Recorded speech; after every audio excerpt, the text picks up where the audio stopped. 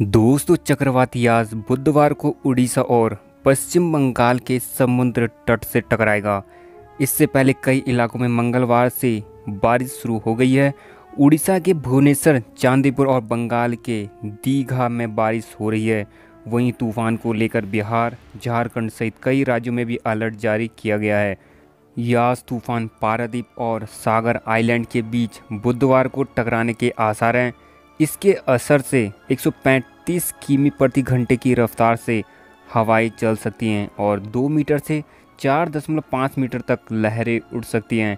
मौसम विभाग का कहना है कि समुद्र तट से टकराने से पहले यास काफ़ी ज़्यादा खतरनाक हो सकता है।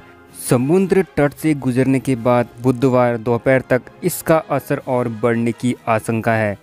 यास तूफ़ान को देखते हुए पश्चिम बंगाल और उड़ीसा में आपदा राहत की टीमें तैनात है।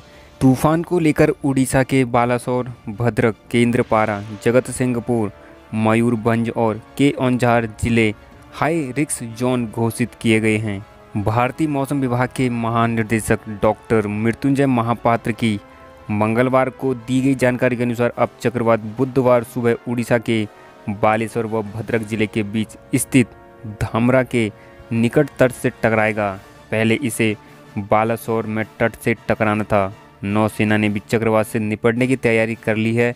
बिहार और झारखंड के कुछ हिस्सों में यास को लेकर सतर्कता बरती जा रही है। दोस्तों, ये थी यास तूफ़ान की आने की कुछ महत्वपूर्ण जानकारी। अगर आपको जानकारी पसंद आती है तो वीडियो को लाइक ज़रूर कीजिए। चैनल पे नहीं तो चैनल को सब्सक्राइब करके बेल आइकन को ऑल पे ज़रूर प्रेस कर लीजिए।